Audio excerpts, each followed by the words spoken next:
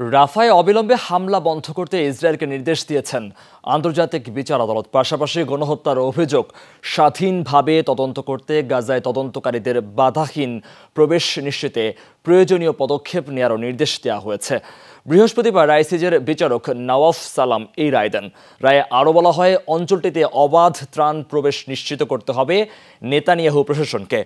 গাজায় গণহত্যা বন্ধে ইসরায়েল কি পদক্ষেপ নিয়েছে এক মাসের মধ্যে আদালতে শেষ সম্পর্কিত রিপোর্ট জমা দিতে হবে।